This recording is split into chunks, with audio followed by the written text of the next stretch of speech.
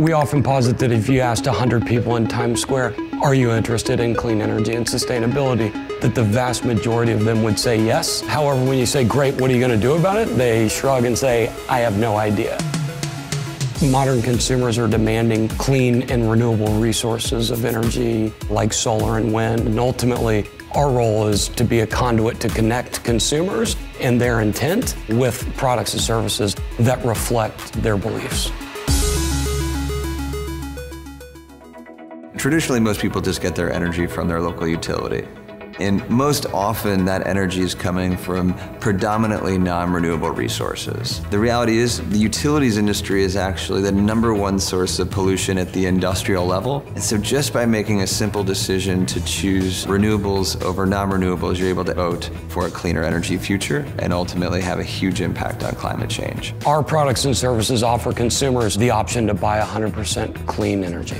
So the way that the clean energy component works is a wind or solar facility generates one unit of electricity. They're able to sell that unit of electricity into the market and also sell an additional product called a renewable energy certificate.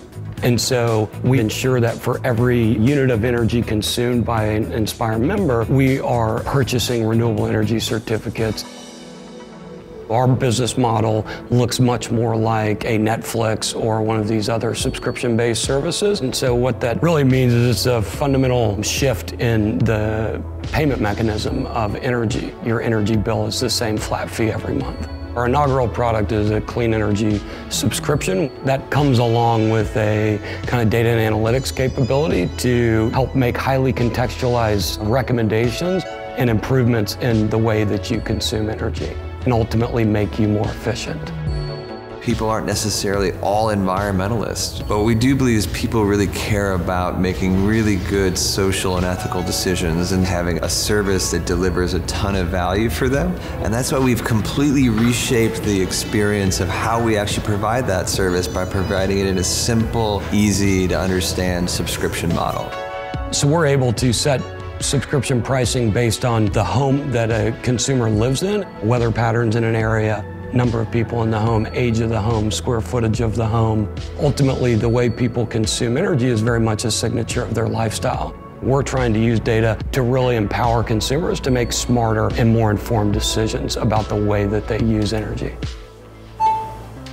For over 100 years, the energy industry has been an old government sanctioned monopoly.